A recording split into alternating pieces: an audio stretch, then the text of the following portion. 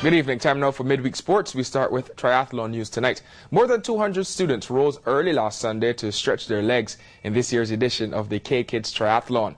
Our community's younger generation generation showed up at uh, the Camana Bay to show that they have the fight against child obesity handled by tackling the swim, bike and run at the Cayman International School as part of a team or individually. And we got some of their reactions afterwards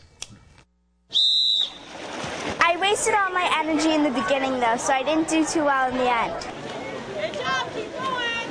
I did all of the events and it is really tiring. That way.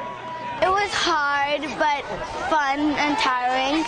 My shoe came off. It's a nice challenge to competing.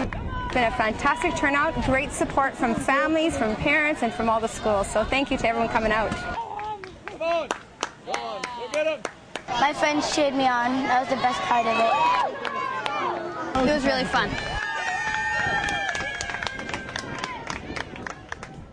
Well, on the day, it wasn't about who won or lost in last Sunday's CayKids Triathlon, but more importantly, it got some of our students active and interacting with each other. So good job by some of the students there. Moving on to some football now, and the final first round playoff matches in the CUC Primary School Leagues were held this past Saturday at the Annex. In the Under 9 Champions Cup, Georgetown Primary, Cayman Prep, St. John, Sir John Cumber, and St. Ignatius advanced. There's Coach Cheeky giving some instructions, and those teams advanced to the semifinals after another exciting day at the Annex. With the bigger players in the under 11s, it was St. Ignatius and Prospect that moved on. They will be joined by either Georgetown or Cayman Prep in this weekend's semifinals. Fantastic goal there by those youngsters. And these boys will be moving on to this weekend's semifinals. Let's move on to some cricket now. And Omar Willis stole the show as the day's best batsman to help East End win the New Testament Church annual cricket competition this past Monday. Willis's innings that led East End to victory wasn't the only special occasion on the day. He hit the winning knock in memory of his father, the late Rudolph Willis, who the tournament is named after.